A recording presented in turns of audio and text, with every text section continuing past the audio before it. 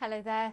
We had some really vicious storms unleashed across the UK during Thursday. It was really as a result of the heat and humidity that built up ahead of the weather system sweeping in off the Atlantic. So we had some real extremes 28 degrees Celsius in London, but nearly 30 millimetres of rain fell in an hour from those storms, resulted in widespread flash flooding and giant hail. And this was the satellite picture during the later afternoon to the early evening. You can see those storm clouds just erupting and moving northeastwards with all that humidity but that will be moving away with those storm systems as we move into Friday. So cooler, fresher weather takes over. So we've seen a few thunderstorms rumbling on into the night across Northern Ireland and Scotland. Still a warning out for the Northern Isles for some really wet and windy weather here. We're not out of the woods totally for central and northern Scotland, some thunderstorms through the day today, but also some fairly wet weather still for Dumfries and Galloway, but the showers really elsewhere, not to the extent that we saw on Thursday. But a lot of clouds will greet us on Friday morning,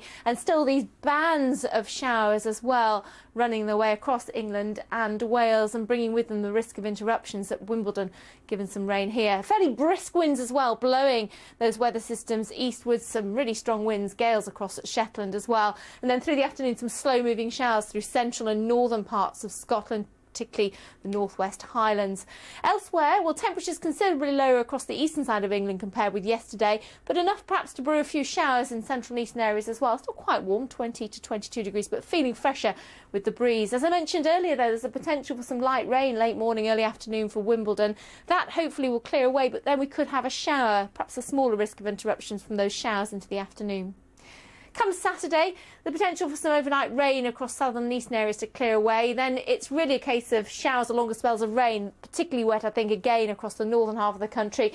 The showers popping up and some thunderstorms further southwards and eastwards as well. And it's all because we'll have this area of low pressure anchored close by. So some strongish winds in southern areas, slow moving showers in the north, and then a brief ridge of high pressure for Sunday, bringing some relief from the showers in southern areas. But you've got the next weather system rushing in for the start of the new week. So Sunday looking a little drier across southern areas. Still a lot of showers and fairly brisk winds in northern parts. Temperatures, though, in the sunshine 16 to 19 degrees Celsius, as you can see. But as I say, more weather systems run in for the start of the new week. So for Friday the weekend, it is looking cool and breezier. There'll still be some showers around despite some sunshine in between.